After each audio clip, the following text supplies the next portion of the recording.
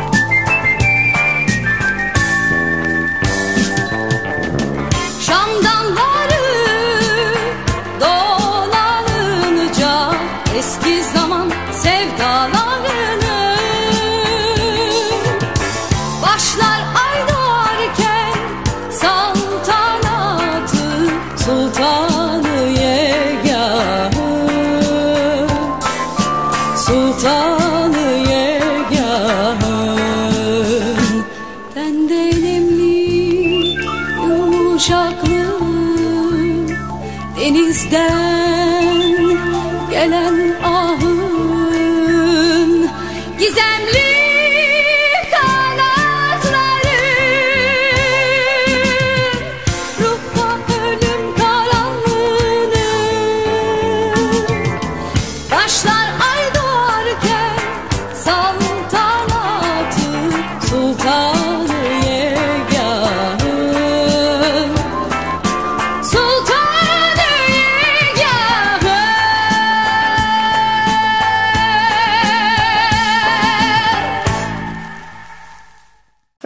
Anatolia'dasınız ve Zeliha Sunal size İstanbul'dan sesleniyor.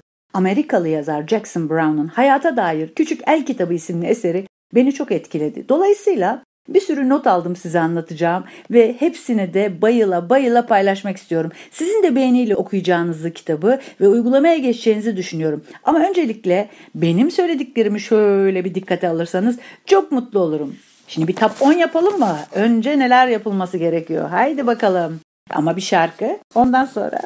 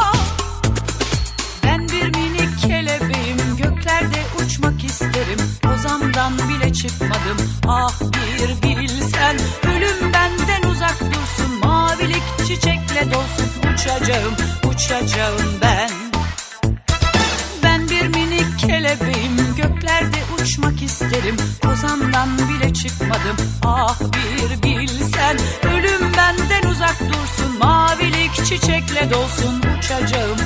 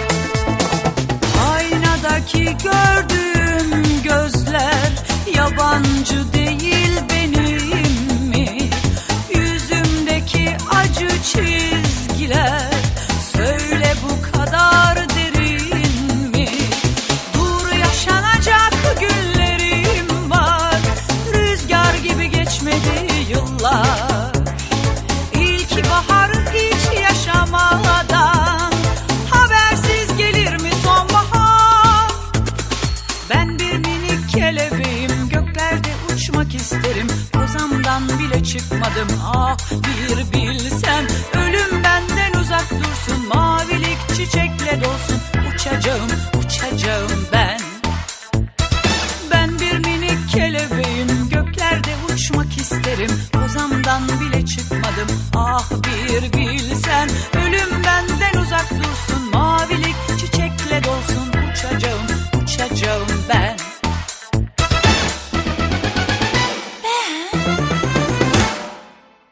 Zeliha Sunal'la Radyo Anatolia'dasınız ve birlikteliğimiz İstanbul'dan efendime söyleyeyim size bugün iyi hayat notları okuyacağım dedim. Okuyacağım diyorum çünkü bu notların sahibi Amerikalı yazar Jackson Brown. Hayata dair Küçük El Kitabı isimli eserinden. Bayıldım gerçekten. Hepsi çok güzel. Çünkü hepimizin ders alabileceği güzel böyle ilham verici şeyler var gerçekten. Kitabı da alırsanız çok güzel olur. Bakalım size lazım olan şeyleri siz kendiniz alın. Diyor ki Tuzu, kırmızı eti, şekeri, yağı, unu azalt. Yatak alırken ucuza kaçma. Hmm. İlk dört kata kadar asansörü değil merdiveni kullan. Her sabah 30 dakika erken kalk. Böylece yılın sonunda uyanık geçirdiğin zamanı 7,5 gün eklemiş olursun. Kendi odununu kendin kır. Hmm, bu büyük şehirlere göre değil ama e, hareket et demek istiyor herhalde. Neyse her yemekten sonra şükret. Doktorun muayeneyi kısa kesmesine izin verme. Ey Jackson Brown biliyor musun sen Türkiye'de randevu alıyorsun gidiyorsun bir dakikan var söyledin söyledin hepsi o kadar ondan sonra doğru seni kovalıyorlar. Niye? Çok hasta var sıra ötekinde. Uyumadan önce neşeli ve ilham verici bir şeyler oku. Hayır, artık uyumadan önce hepimiz cep telefonlarımıza, tabletlerimize gömülüyoruz. Okuyabildiğimiz kadar sosyal medya takıntısı e, varsa takılıyoruz. Maillerimize bir kez daha bakıyoruz. Efendime söyleyeyim oradan kendimizi oynayacak Candy Crush vesaire bir şeyler buluyoruz. Ya da soliter falan ya da kelimelik oynuyoruz işte Scrabble falan. Yani öyle. Yani artık uyumadan önce neşeli ilham verici bir şeyler okumak zor oluyor be dostum. Hmm, yazar demiş ki her gün yarım saat sıkı bir yürüyüş yap. Evet, Türkiye'nin engebeli yollarında o yürüyüşü yapabilirsen sıkıysa yap bakalım. Ve bol bol gül. Evet biz Türkiye'de gülüyoruz ağlayacak halimize. Bak onu yapabiliriz işte arkadaşım. Radio Anatolia İstanbul'dan Zeliha Sunal'la beraberliğiniz Radyo Anatolia'da devam ediyor efendim. Sana uzatılmış bir eli daima kabul et. O eli sıkıca kavra ve sıkı tokalaş demiş yazar Jackson Brown hayata dair küçük el kitabında. Hmm, bakalım başka neler söylemiş. Konuştuğun veya elini sıktığın insanların gözünün içine bak. Daha sık teşekkür etmeyi, daha çok lütfen demeyi unutma. Güzel. Her gün en az 3 kişiye iltifat et. Hmm, işte burada biraz duralım. Çünkü iltifat edecek 3 kişi evet edebiliriz. Ama artık böyle güzel bir şey söylediğinde hmm, ne menfaati var acaba falan diye düşünüyor artık insanlar. Biraz böyle zor oldu sinir sistemimize hakim olmak. iltifat etsek yanlış mı anlar, ne olur, ne biter bilmiyorum artık. Neyse bakacağız. Efendim ne demiş burada başka? Herkese özellikle yaşlı ve çocuklara karşı nazik ve sabırlı ol. Evet bu olması gereken bir şey. Olabiliyor muyuz? Hmm, bilmiyorum ama çocuğa şiddet olsun, yaşlılara pek öyle bir nezaketi buralarda çok da beklemeyin yani. Ama olursa süper olur tabii. Öfkene gem vur, asla küfretme, hatalarını kabul et, İnsanların isimlerini hatırla, önce sen merhaba de. Bu da güzel bir şey tabii ki. Herkes övülmeyi sever. İnsanları övmek için her fırsatı değerlendir. Ama yağcılık yapma arkadaşım bak ona göre ha. Hmm, yapman gereken her şeyi neşe içinde güler yüzlü yap. Güzel, süper. Hadi bir şarkı.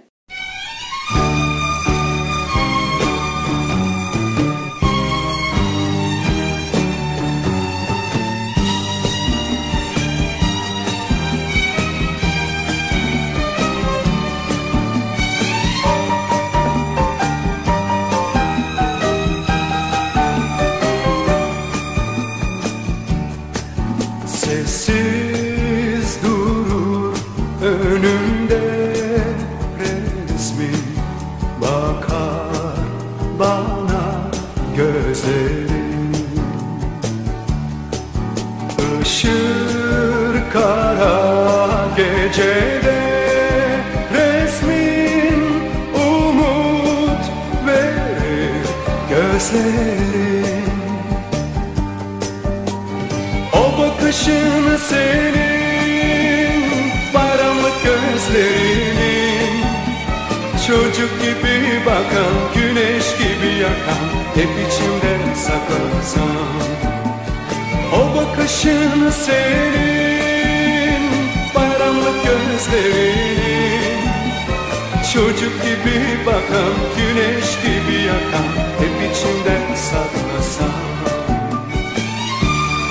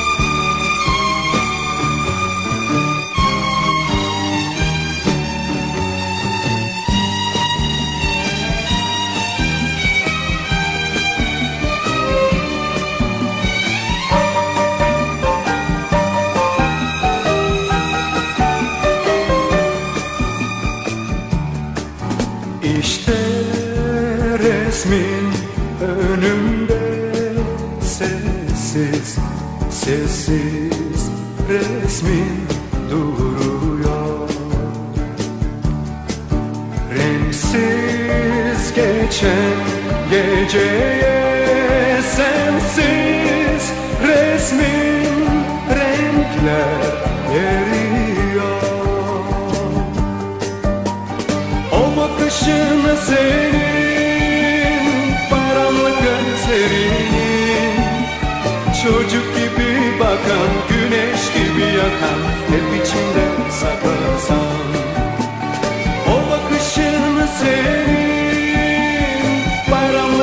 gözlerinin. Çocuk gibi bakan güneş gibi yakan Hep içinde saklasan O bakışını senin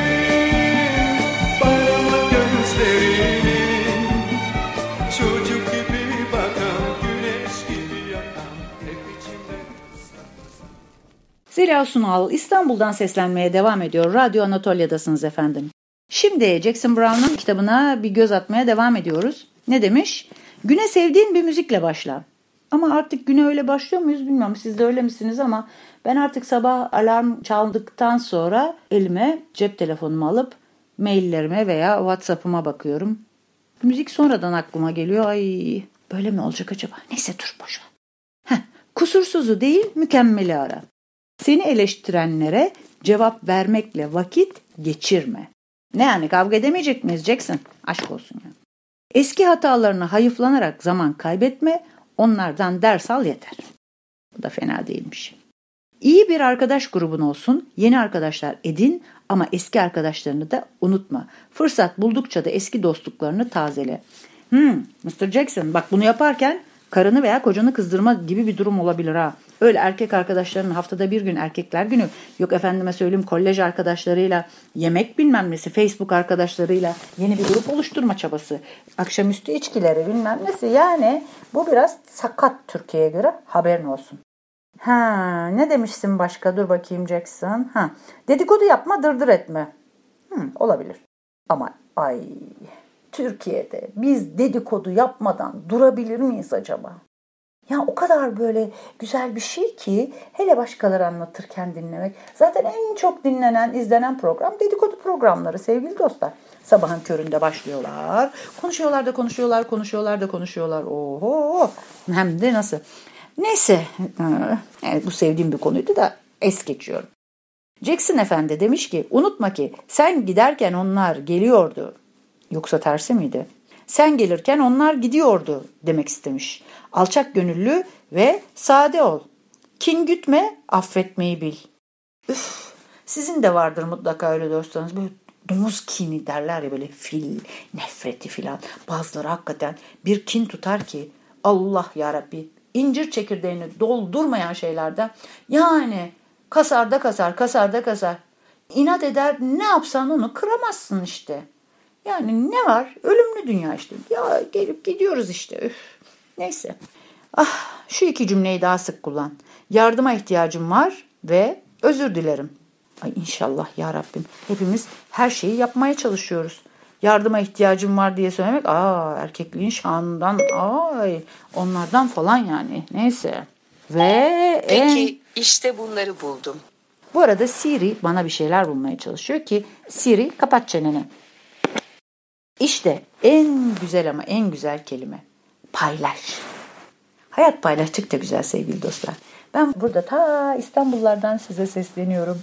O kadar mutluyum ki düşüncelerimi paylaşıyorum, duygularımı paylaşıyorum, güldüğüm bir şeyleri, sevdiğim bir şeyleri paylaşıyorum ve bunlar sizin bana verdiğiniz cevapları, gülücükleri duyuyor gibiyim, dinliyor gibiyim. Gerçekten çok mutluyum. İyi ki varsınız sevgili dostlarım. Radio Anatolia.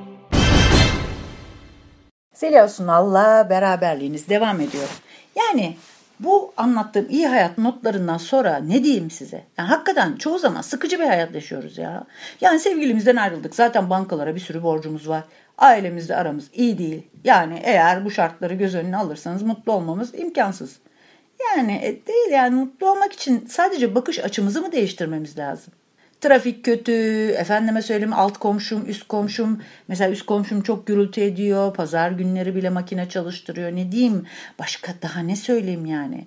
Yanımdaki komşu benim kapımın tam önünde kediye yemek veriyor. E ben de hayvanları seviyorum ama bakalım kendi kapımın önünde böyle bir şey istiyor muyum?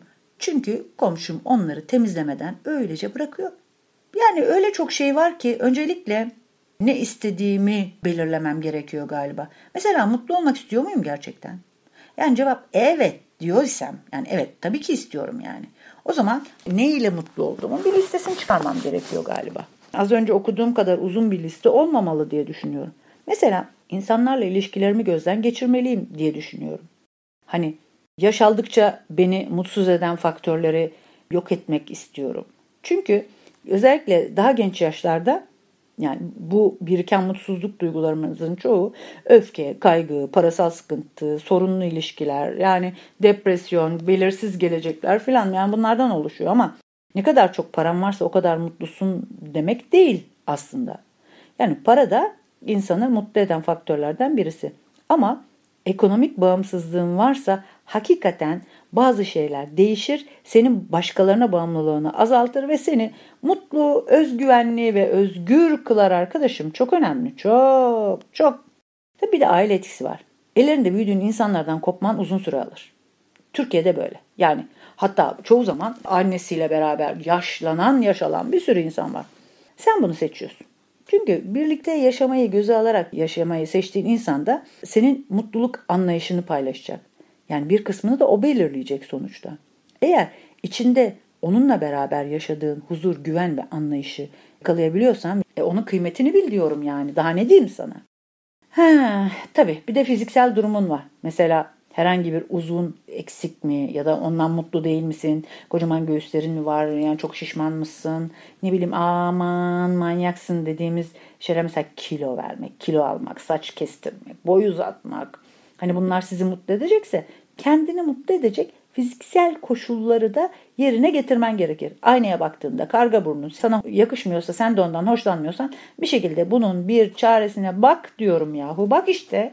Aa, mutluluk senin elinde. Hepsi bu.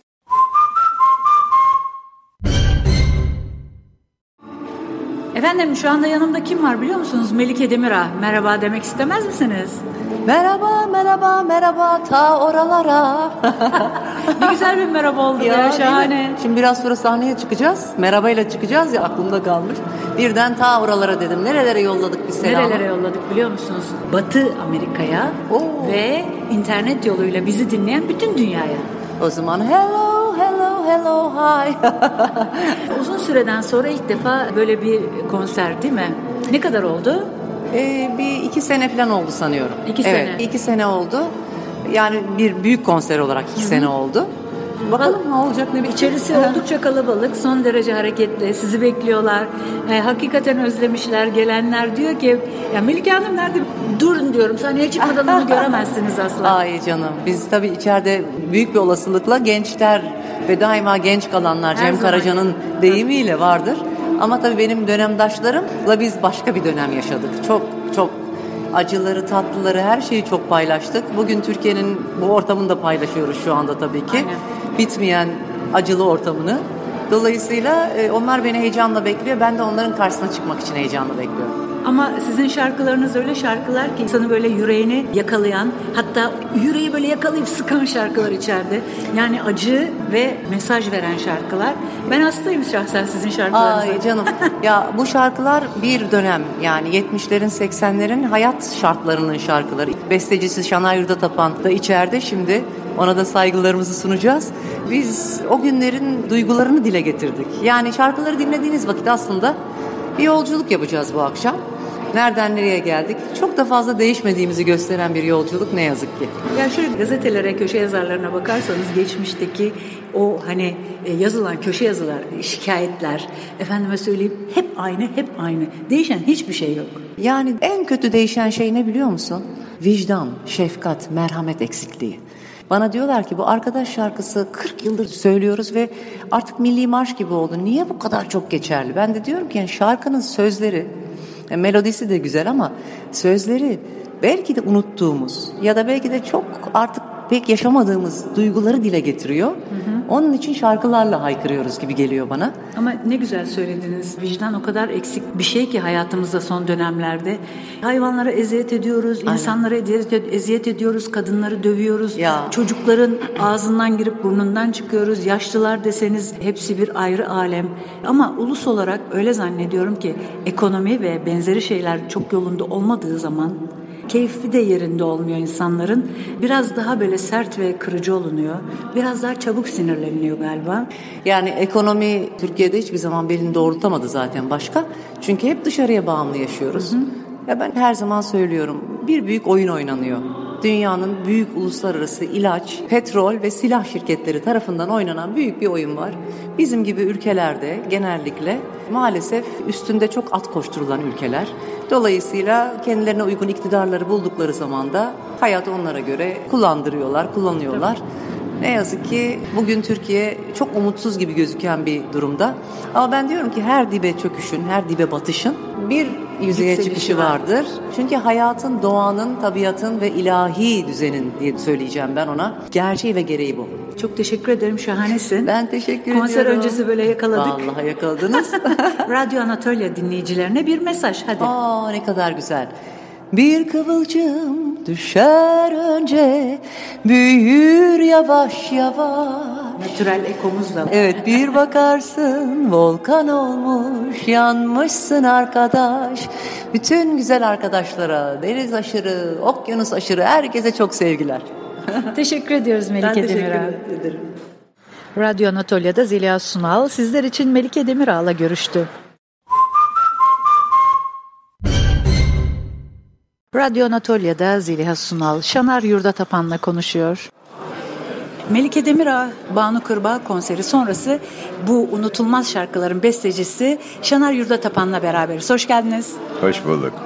Unutulmaz şarkılar yazdınız. Belki bizi bize daha iyi anlattınız. Bizden daha iyi anlattınız. Bunun sırrı yürekte yatıyor tabii ki. Arkadaş diyoruz. Şimdi İstanbul'da olmak var diyoruz. Bunun ucunda biraz hasret mi var? Neler var?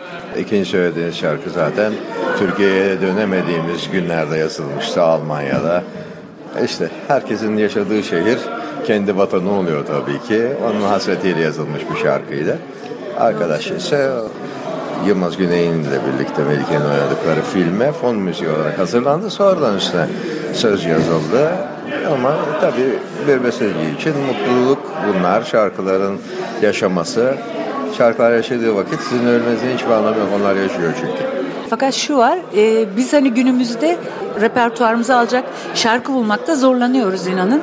Her gün o kadar çok şarkı çıkıyor ki içinde bir arkadaş gibi, bu sizin güzel şarkılarınız gibi içinde repertuarımıza alabileceğimiz, tekrar tekrar dinleyicilerimize dinleteceğimiz şarkılar çıkmıyor. Sizce bunun sırrı nedir yani? Niye olmuyor? Aslında çıkıyor. Çıkıyordur. Her dönemin çıkıyordur. Yalnız bugünü bütün detaylarıyla yaşıyoruz.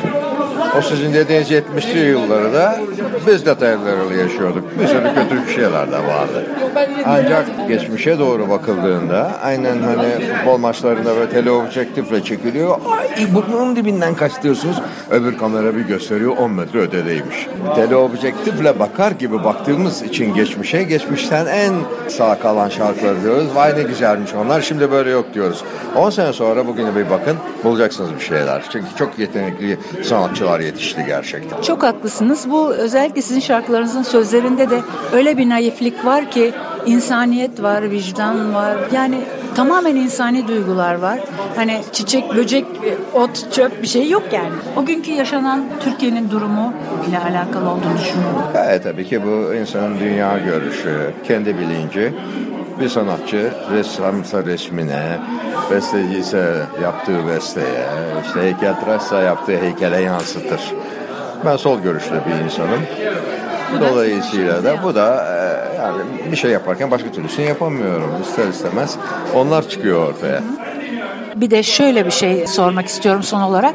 Bugünkü konseri nasıl buldunuz genel olarak? Melike iki yıl aradan sonra ilk defa sahneye çıktı. Çok heyecanlıydı biliyorum sahne arkasında. Ne söyleyeceksiniz? Valla tabii ki ben objektif bir şey söyleyemem şimdi. Benim için hepsi onlar geçmişe ait parçalar.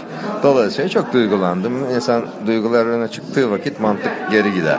Ancak görebildiğim kadarıyla yani orkestrada az prova yaptıklarını biliyorum. Buna rağmen gayet iyi görüntüler. Şey. Melike de zaten sahneye de hakim. Yani e, heyecana rağmen her şey güzeldi diyorsunuz. Gayet tabii. Zaten öyle olmasa izleyicinin bu kadar coşkulu bir tezahüratı da olmaz. İnanın bana içerideki insanların çoğu o 70'li ve 80'li yılları en acı şekilde yaşayarak geldi ve o şarkıları sizlerden dinlemek istedi. Çok teşekkür ederim ruhunuz için, yüreğiniz için, o güzel şarkılarınız için. Ben de çok teşekkür ederim. Sevgili Şanar Yurda Tapan konuğumuzdu. Sağ olun.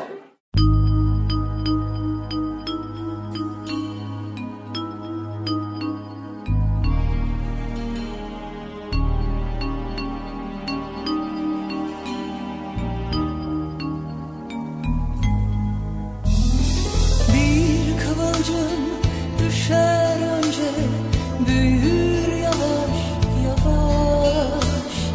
Bir bakarsın volkan olmuş. Yanmışsın arkadaş.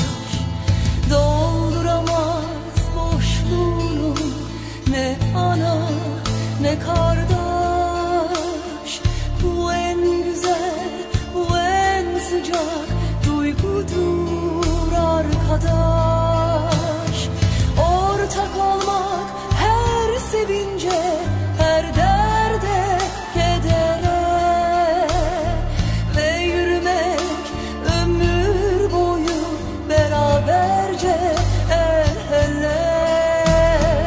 Olmasın hiç o ta içten gülen gözlerde yaş. Yollarımız ayrılsa bile seninle arkadaş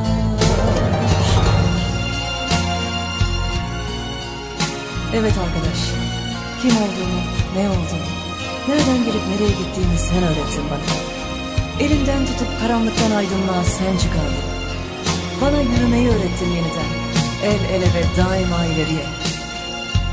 Bir gün, bir gün birbirimizden ayrı düşsek bile biliyorum hiçbir zaman ayrı değil yollarımız.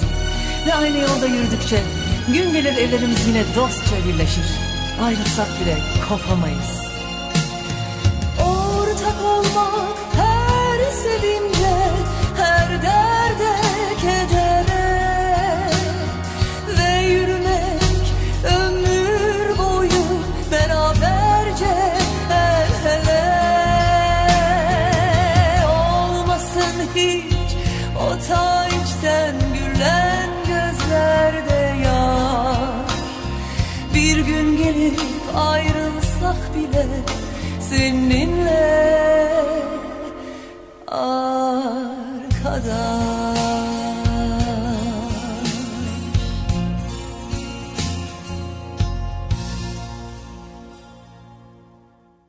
İyi haftalar diliyorum sevgili dostlar. Ben Zeliha Sunal, Radyo Anatolia'dan sevgiler, İstanbul'dan selamlar diyorum. Gönlünüzün dilediği, canınızın istediği gibi olsun her şey. Allah'a ısmarladık.